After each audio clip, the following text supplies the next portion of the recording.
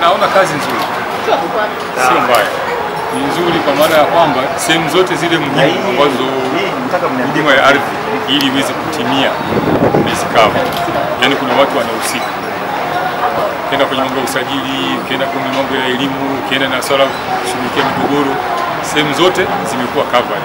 Ina maana in case of any problem, unajua unaingia katika kitengo kipi katika idara ya ardhi, hiyo unapata solution yake na mkakuta kwamba kuna baadhi ya mambo yamewaelemea, kwa mfano mambo ya, ya upimaji na nini, tumefikia kuweka utaratibu kwamba mwaweke mpaka taasisi binafsi ziweze kufanya hizo kazi. Hiyo nayo ni jambo zuri, ni swala la, la kuboresha. Of course mabadiliko tunayaona, kwa sababu hata sasa hivi tunasikia utoaji hata utoaji wa hati na nini. Zamani kwa kuna kuta kuna senta siku moja mbili tatu za kutoa, lakini sasa hivi naona kila mara tunasikia kwamba hati sasa hivi zinatolewa katika sehemu zaidi ya zile ambazo zilizokuwepo nasikia kauli hata serikali ikizungumza kwamba inataka ikiwezekana kila mkoa hati ziweze kutoka huko.